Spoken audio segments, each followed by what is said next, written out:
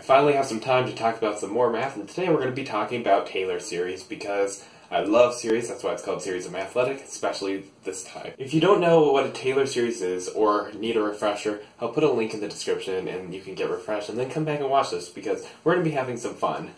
Now these three series are the most commonly known series because they're the easiest to prove, but we're not going to be talking about these, we're going to be talking about some fun equations like the following when you get down into these complicated series, it becomes more of a game to see if you can just figure it out. Now, before we start, there's one thing I need to prove, and this is what this video is going to be dedicated to. Let's start with this series, and this is equal to the summation of 1 to x of n factorial. Now, what, what we can do is we can change all of these to something over 2. For instance, 1 is equal to 2 over 2. 2 is equal to 4 over 2. And then 1, as previously said, is 2 over 2. So now what we have is each time we have the products of just even numbers. What I'm going to do now is define a function. We'll say that x minus question mark is every other number product, so kind of like a factorial, but not. One thing we'll notice is that the leading number is always twice the n value, and it's multiplied by every previous number, which we defined it as a question mark. Then what we're dividing by is 2 to the nth power, because we have 1, 2, 2, 2, 3, 2, etc. Now the question is, how do we find the product of odd numbers, because this is in respect to even numbers. We've already established that these two things are equal, so we can set the inside equal because they both have the same range all the time. So if we write down x question mark and x minus 1 question mark, we'll notice that these fill the gaps. So by multiplying these two together,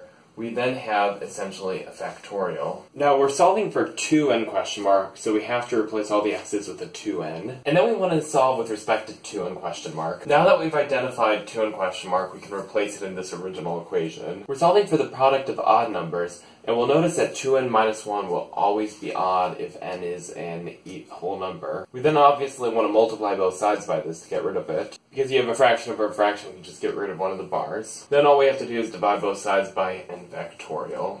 One thing you may know is that a product of a sequence can be represented by a capital pi. So just as a side note, we can also write it as this, but in, with respect to Taylor series, we want to have it in terms of just factorials. So why exactly does this make sense? 2n factorial can be re represented by this sequence, while n factorial is significantly smaller. However, if we multiply each term by 2, we'll notice they all go to the subsequent even numbers, leaving just the odds behind. For that reason that the product of odd numbers can be represented by this equation.